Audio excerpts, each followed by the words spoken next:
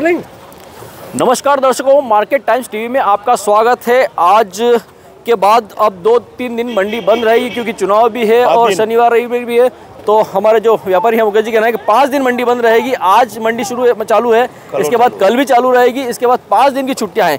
ऐसे में मंदसौर मंडी के अंदर प्याज बड़ी मात्रा में आए हैं और खास बात यह है कि जैसा कि मुकेश जी ने बताया था कि प्याज में जो है अच्छी खासी तेज़ी देखने को मिलेगी।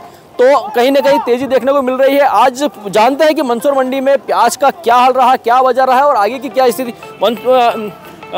आपका बहुत बहुत स्वागत है हमारे मार्केट टाइम्स टीवी में।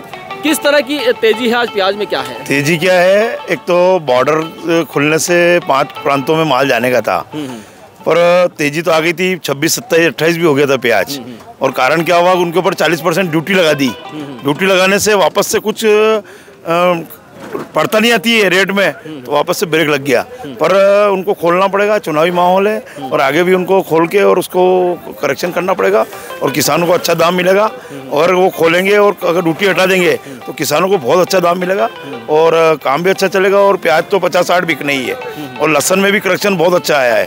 लहसन में भी तेज़ी बहुत चल रही है अच्छी यहाँ से। प्याज में क्या लगता है? ड्यूटी कम होना चाहिए ड्यूटी ड्यूटी हट जाएगी तो बाज़ार बढ़ेंगे। बाज़ार बढ़ जाए हाँ। तो पचास साठ तक जा सकता है आराम से जाएगा। अभी आज क्या स्थिति मंदसौर मंडी आज भी बीस इक्कीस रुपये बिके प्याज। कितना उछाला है पिछले तीन आज पाँच रुपये छः रुपये उछाल आया है। छह रुपए तक उछाल है।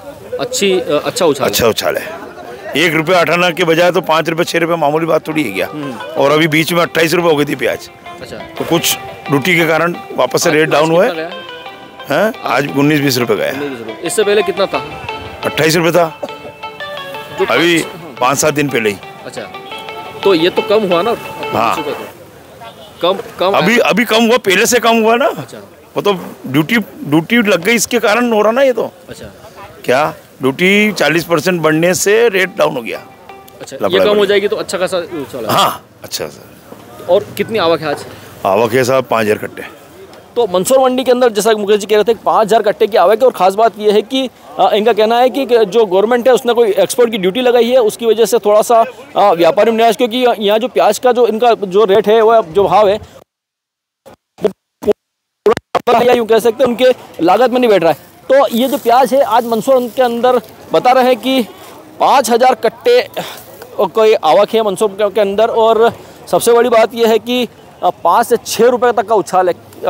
व्यापारी जो मुकेश जी थे, उनका कहना है कि सात आठ दिन पहले करीब अट्ठाईस रुपये तक प्याज गया था, लेकिन अभी उन्नीस बीस रुपये तक प्याज यहाँ मंसूर मंडी के अंदर जा रहा है और आगे ये भी कहना है कि पचास साठ रुपये तक प्याज बिक सकता है। ऐसे में प्याज में उछाल आना बिल्कुल बता रहे हैं कि संभव है और प्याज पचास साठ रुपये तक जा सकता है। मार्केट टाइम्स टीवी के लिए मंदसौर से मैं दीपक शर्मा।